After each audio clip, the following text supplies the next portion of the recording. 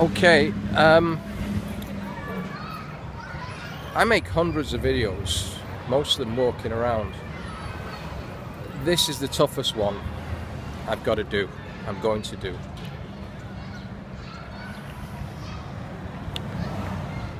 Last night, um, I saw a post and it didn't quite register with me. So I, I picked up a phone picked up our phone. I picked up the phone.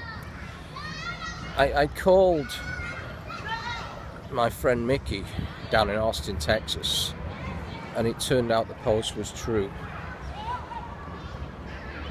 I uh, Jessica Getz and I first connected five years ago, and then we found out we shared a birthday, so we uh, jokingly referred to each other as twins. There's a bit of an age difference and you know we shared humor we shared a lot of a lot of stuff. There's a listen don't get me wrong. There's a lot of people a lot closer to it than I was. But there's there's a lesson here. Yesterday Jessica was involved in a, a, an accident a vehicle accident and lost her life suddenly. I believe she was going to be 25 on the 29th of May. I may be out by a year and you know I, have kind of grown up around things like this but this was completely out of the blue. I can't you know I, I cannot imagine what you guys are going through right now. So I just want to really say um, Bart you guys been married a week man. I, I, just, I can't I cannot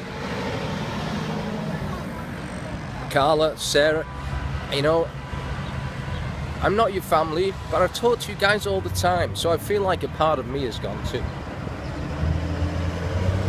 However, taking something from this, which is, is hard, taking something from this,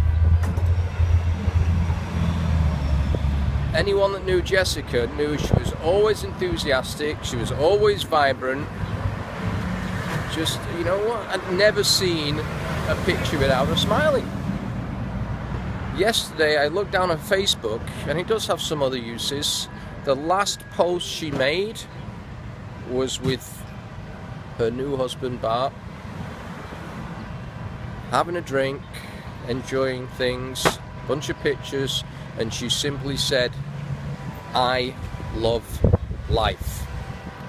So if I'm going to remember Jessica by anything, it's going to be by that. Everything else is excess. If there's one thing I can remember her by, it's the last thing she did. So my thing is, how many people sadly pass without loving life? So Jessica, from your twin, Thanks for the lesson.